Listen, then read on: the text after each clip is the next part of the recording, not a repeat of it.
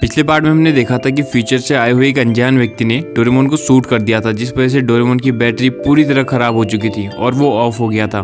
जब नोबिता ने देखा कि डोरेमोन पूरी तरीके से बंद हो चुका है तो वो कई दिनों तक बहुत दुखी रहा। नोबिता की मॉम और डैड ने नोबिता को बहुत समझाया। एक दिन देर रात को जब नोबिता डोरेमोन को बहुत ज़्यादा मिस कर रहा था, तब डोरेमोन का एक होलोग्राफिक प्रोजेक्शन उसके सामने आ गया था, जो कि डोरेमोन ने आखिरी मैसेज के रूप में नोबिता के लिए छोड़ा था, जिसके बाद नोबिता डिसाइड करता है कि अब वो डोरेमोन को ठीक करेगा और वो पूरी लगन से पढ़ाई करने लगता है और यूनिवर्सिटी में टॉप करता है। रोबोट्स का नॉलेज होने के बाद वो डोरेमोन के ऊपर काम करना शुरू कर देता है। काफ़ी साल बीत जाते हैं और एक दिन उसके पास एक अज्ञात व्यक्ति द्वारा एक लेटर आता है, जिसमें सिग्नेचर के रूप में डी लिखा हुआ था। नोबिता सोचता है कि ज़रूर, ये लिफाफा डोरेमोन ने उसको भेजा होगा इसलिए उसको जल्दबाजी में खोलता है और खोलते ही पूरी तरीके से चौंक जाता है। अब आगे देखते हैं। नोबिता लिफाफा खोलता है और चौंक जाता है क्योंकि उसमें कुछ कागज़ थे जिसमें डोरेमोन का ब्लूप्रिंट बना हुआ था। उसमें डोरेमोन के हर एक पार्ट के बारे में जानकारी थी कि वो कैसे काम करता है, डोरेमोन की पॉकेट कैसे काम करती है और यहाँ तक कि डोरेमोन के कानों के बारे में और डोरेमोन की बैटरी को किन चीज़ों से बनाया गया है, वो सब लिखा हुआ था। ये M S nine zero three यानी डोरेमोन का एक ब्लू प्रिंट था। ये देख नोबिता बहुत ज़्यादा खुश हो जाता है, क्योंकि अब डोरेमोन के मैकेनिज्म को समझना बहुत आसान हो गया था। नोबिता सोचता है, ज़रूर डोरेमोन ने ये ब्लू प्रिंट मेरे लिए छोड़ा होगा, ताकि मैं उसको दोबारा बना सकूँ। जैसे उसने मेरे लिए होलोग्राफिक प्रोजेक्शन छोड़ा था। नोबिता ब्लू प्रिंट को समझने की कोशिश करता है और जितना उसको पढ़ता है, उतना ही दुखी होने लगता है, क्योंकि उसमें कोई भी ऐसा रास्ता नहीं था जिससे वो डोरेमोन को बिना मेमोरी लॉस हुए ठीक कर सके। नोबिता के लिए बहुत ज़रूरी था कि वो डोरेमोन को उसकी सारी मेमोरीज के साथ ठीक करे। बैटरी तो ब्लू की हेल्प से बनाई जा सकती थी, लेकिन डोरेमोन की मेमोरी सेव रखना ये एक बहुत बड़ा चैलेंज था उसके सामने, और इसी चीज़ की उसको इन्वेंशन करनी थी। नोबिता जब ब्लूप्रिंट को समझ रहा था, तब उन्हीं में से एक कागज़ में कंपनी नेम के आगे एमएस लिखा हुआ था। नोबिता की नज़र उसमें पड़ती है और वो एमएस का मतलब समझने की कोशिश करता है कि उसको ध्यान आता है कि एमएस मतलब तो मात्सु सिवा है, यानी जहाँ डोरेमोन को बनाया गया था। हड़बड़ी में नोबिता अपने ड्रॉर को खोलता है और वो लिफाफे के कवर को चेक करता है, जिसमें डी सिग्नेचर किए हुए थे। जब शाम को डेकीसुगी नोबिता से मिलने आता है, तब नोबिता ये सारे ब्लूप्रिंट्स और एक कवर डेकीसुगी को दिखाता है। और इसको देख के वो दोनों समझ जाते हैं कि ये लिफाफा डोरेमोन ने नहीं, बल्कि मात्सु सिबा कंपनी के डायरेक्टर ने नोबिता को भेजा है। क्योंकि डायरेक्टर को मालूम होगा कि नोबिता के साथ एक ना एक दिन ज़रूर ये सिचुएशन होगी। इसलिए डायरेक्टर ने नोबिता की मदद के लिए ये लेटर भेजा। जैसा हमने रिबॉर्न ऑफ़ डोरेमोन में भी देखा रिबॉर्न ऑफ़ डोरेमोन में डायरेक्टर ने डोरेमोन को किडनैप कर लिया था। और वो डोरेमोन को पहले जैसा स्मार्ट बना देना चाहता था। क्योंकि उसको रिग्रेट था कि उसका बनाया हुआ रोबोट डिफेक्टिव निकला। लेकिन नोबिता और डोरेमोन की दोस्ती देख के वो इमोशनल हो गया था। और उसने डोरेमोन को पहले जैसा नहीं बनाया, क्योंकि अगर वो बना देता तो डोरेमोन पूरी तरीके से रिसेट हो जाता। डायरेक्टर को पता था कि एक ना एक दिन नोबिता की लाइफ में ऐसा दिन आएगा जब डोरेमोन ऑफ़ हो जाएगा। इसलिए डायरेक्टर ने सारे ब्लूप्रिंट्स को एक लिफाफे में डालकर नोबिता को भिजवा दिए थे और काफ़ी समय बाद वो लिफाफे नोबिता की एड्रेस में पहुँच जाते हैं। नोबिता मन ही मन डायरेक्टर को धन्यवाद कहता है क्योंकि उन्होंने नोबिता की एक बहुत बड़ी मदद की थी। नोबिता अब डोरेमोन के ऊपर काम करने लगता है। वो दिन रात अपने पूरे डेडिकेशन के साथ काम करता है। काफ़ी सालों की मेहनत के बाद वो एक ऐसा रास्ता ढूंढ लेता है जिससे डोरेमोन की मेमोरी सेव रहे। नोबिता खुश था क्योंकि उसने ये इन्वेंशन कर दी थी। अब डोरेमोन की बैटरी को तैयार करना था और फिर डोरेमोन ठीक हो जाएगा। नोबिता गवर्नमेंट के डिपार्टमेंट ऑफ़ रोबोटिक इंजीनियरिंग में जॉब करता था। उसने जापान के लिए बहुत से इन्वेंशन भी किए थे, जिससे जापान का बहुत विकास हुआ था। जापान में रहने वाले लोग नोबिता नोबी को बहुत पसंद किया करते थे। इसके बाद नोबिता की शिजुका के साथ शादी भी हो गई थी। नोबिता दिन में जॉब करता था और रात को अपनी लैब में डोरेमोन की बैटरी के ऊपर काम किया करता था। डोरेमोन की बैटरी को बना पाना इतना आसान नहीं था जितना उसको ब्लूप्रिंट में देख के लगा था। क्योंकि वो बैटरी फ्यूचर में बनी हुई थी। उस ब्लूप्रिंट में बहुत सारे ऐसे कंपोनेंट का नाम लिखा था जो कि अभी तक डिस्कवर भी नहीं हुए थे। कई बार बैटरी फट जाया करती थी, लेकिन प्रेसिडेंट डेकीसुगी नोबिता की फाइनेंशियली बहुत हेल्प करता था। और इसके साथ ही वो दोनों मिलकर उन कंपोनेंट्स को भी ढूंढते थे और उन पर रिसर्च करते थे।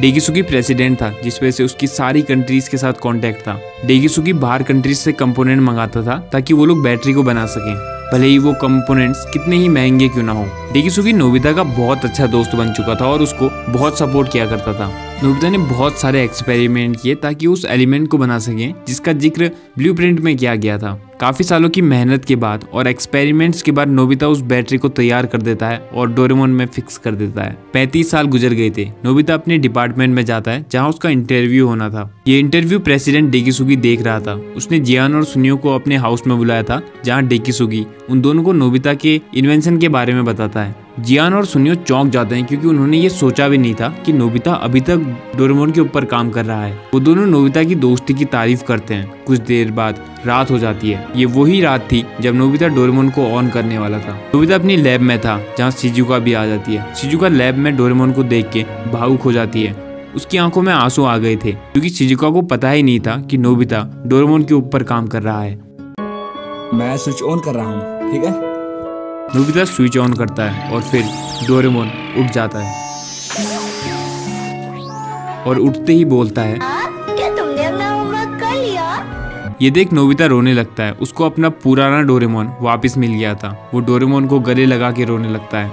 शिजुका की आँखों में भी आँसू थे क्योंकि नोबिता के इतने सालों का सब्र पूरा हुआ। नोबिता ने डोरेमोन को ठीक करके अपना वादा पूरा किया। डोरेमोन दाढ़ी मूछ वाले नोबिता को देख के पूछता है तुम कौन हो? क्योंकि बाहर 35 साल गुजर गए थे, लेकिन मानो डोरेमोन के लिए तो सिर्फ़ एक मिनट गुजरा हो। नोबिता अब 10 साल का बच्चा नहीं था। नोबिता काफ़ी देर रोने के बाद खुशी से डोरेमोन को 35 साल का सफ़र बताता है। डोरेमोन खुशी से रोने लगता है क्योंकि उसको यकीन नहीं होता कि 35 साल गुजर गए हैं और बेवकूफ़ सा नोबिता अब एक जीनियस बन चुका है। वो काफ़ी देर बातें करते हैं। नोबिता ये न्यूज़ प्रेसिडेंट डेकीसुगी को बताता है और डेकीसुगी ये सुनकर खुशी से भावुक हो जाता है। और घुटनों के बल गिर जाता है। डेगी सुगी, ये बात जियान और सुनियो को बताता है और जियान और सुनियो भी ये बात सुनकर खुशी से पागल हो जाते हैं। इसके बाद जब नोबिता डोरेमोन से अचानक चले जाने के बारे में पूछता है, तब डोरेमोन उस अनजान व्यक्ति के बारे में बताता है, जिसने डोरेमोन को शूट किया था। डोरेमोन बताता है कि उस दिन शिवासी मुझसे मिलने आया था और उसी ने मुझे बताया था कि जल्दी ही मेरी बैटरी खत्म होने वाली है। इसलिए हम दोनों ने मिलकर तुम्हारे लिए एक होलोग्राफिक मैसेज रिकॉर्ड करके छोड़ा था। लेकिन इसके बाद पता नहीं क्यों मुझे शौक लगा और मैं ऑफ़ हो गया। फ्यूचर से शिवासी और डोरामी वहाँ आ जाते हैं और शिवासी डोरेमोन को गले लगा के रोने लगता है क्योंकि उसको 35 साल बाद दोबारा डोरेमोन से मिलने का मौका मिला था। डोरेमोन ठीक हो चुका था। जब डोरेमोन शिवासी से उस शौक के बारे में पूछता है, तब शिवासी सारी बातें बताता है। वो बताता है कि उस दिन उसने इलेक्ट्रिक गन से डोरेमोन को शूट किया था, जिससे डोरेमोन की बैटरी में शॉर्ट सर्किट हो गया था और बैटरी डिस्ट्रॉय हो गई थी। ये सुन नोबिता को गुस्सा आ जाता है, लेकिन नोबिता अब पहले जैसा नहीं था, इसलिए वो एकदम गुस्सा करने के बदले शांति से करकराती आवाज़ में पूछता है, तुमने ऐसा क्यों किया शिवासी शिवासी बताता है कि कुछ ही समय बाद डोरेमोन की बैटरी खत्म होने वाली थी, और उसके बाद कोई भी ऐसा रास्ता नहीं था, जिससे डोरेमोन की मेमोरी लॉस हुए बिना वो ठीक हो जाए। फ्यूचर में भी ऐसा कोई रास्ता नहीं था। बस एक ही आदमी ऐसा कर सकता था। वो आप थे ग्रैंड ग्रैंडपा शिवासी आगे बताता है कि बचपन से ही डोरेमोन ने मेरा ख्याल रखा है। वो मेरा बहुत अच्छा दोस्त है। मैं नहीं चाहता था कि डोरेमोन मुझे और मेरी यादों को भूल जाए। डोरेमोन को ऑफ़ होना ही था, इसलिए मैंने उसको शूट कर दिया ताकि आप उसको बिना मेमोरी लॉस किए हुए ठीक कर दें। डोरेमोन का आपसे अच्छा कोई और दोस्त नहीं था और आप ही एकमात्र ऐसे व्यक्ति थे जो डोरेमोन को ठीक कर सकते थे और डोरेमोन के लिए कुछ भी कर सकते थे। और फ्यूचर में इस इन्वेंशन को करने वाले आप ही हो और आपने कर दिखाया। फ्यूचर में हमने देखा था कि 35 साल बाद, आज की तारीख में ही आपने इन्वेंशन पूरी की हुई थी।